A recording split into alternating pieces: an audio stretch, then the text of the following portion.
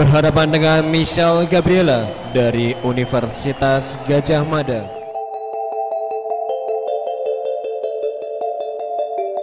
Hai, saya Michelle Gabriela, student atlet dari Universitas Gajah Mada, jurusan Akuntansi Sektor Publik.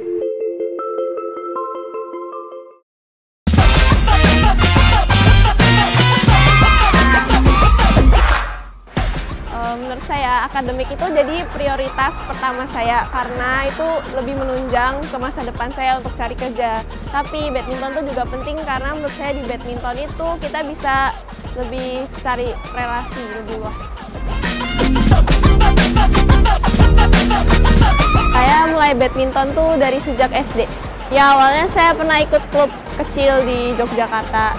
Terus pas SMA saya masuk klub di Jakarta.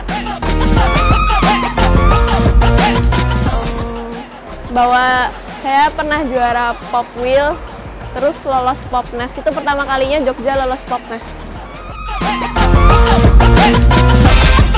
Kalikunya itu ya kalau misalnya latihan itu kan capek dan kadang jenuh kayak gitu. Jadi harus pinter-pinter ngatasinnya.